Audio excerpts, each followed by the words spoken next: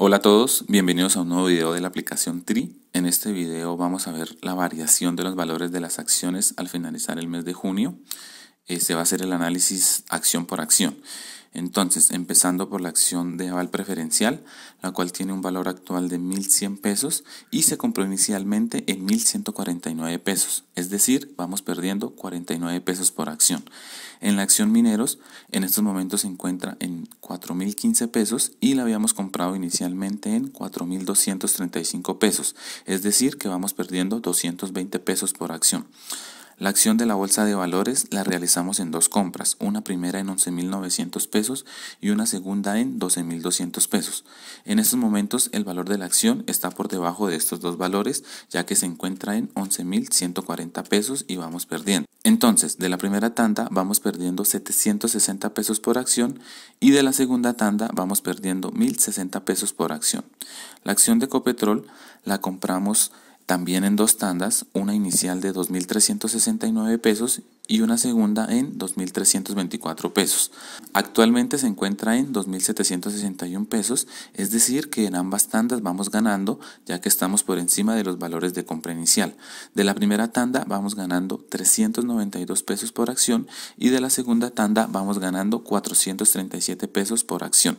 La acción de Promigas la compramos inicialmente en 7.645 pesos y actualmente se encuentra en 6.930 pesos, es decir, vamos perdiendo 715 pesos por acción. Y finalmente, la acción de Celsia la compramos en 4.460 pesos y actualmente se encuentra en 4.159 pesos, es decir, que vamos perdiendo 301 pesos por acción. Viendo todo esto, nos damos cuenta que la mayoría de las acciones se han desvalorizado y la única que aumentó su precio en el mercado fue la acción de Copetrol. Pero estas ganancias de esta acción no alcanzan a compensar las pérdidas de las demás acciones, por tanto vamos perdiendo dinero desde nuestra inversión inicial. Ahora, viendo el dinero en cuenta, tenemos 12.566 pesos y el mes anterior teníamos 11.378 pesos. Es decir, obtuvimos una ganancia de 1.188 pesos que corresponden al pago de dividendos de la acción Aval Preferencial y la acción Promigas. Como este video lo grabé varios días después de finalizar el mes, alcanzó a entrar el pago de otros dividendos y no estoy muy seguro si corresponden a aval preferencial o a mineros. Ya lo verificaré en el próximo video. Pero esta es una de las cosas que tiene por mejorar TRI. No hay dónde buscar qué acción nos pagaron, cuándo nos la pagaron, ni una discriminación del valor que nos pagaron. Recuerden además que TRI nos cobra un porcentaje del 1% por la distribución de dividendos, pero pues no tenemos dónde consultar el pago total ni el descuento que nos hacen por estos pagos ni el histórico de pagos que hemos tenido de los dividendos. La única manera que tenemos es estar pendientes del valor del dinero en cuenta y sacar la diferencia.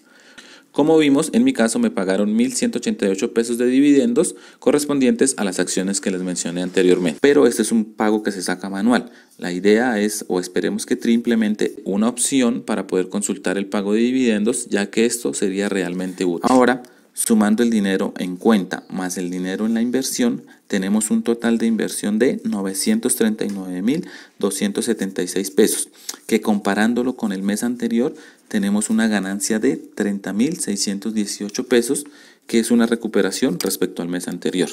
Pero si hacemos el análisis con el dinero real, nosotros realizamos una inversión de un millón de pesos menos el total de la inversión actual, que son los 939.276 pesos, nos da que tenemos una pérdida de menos 60.724 pesos.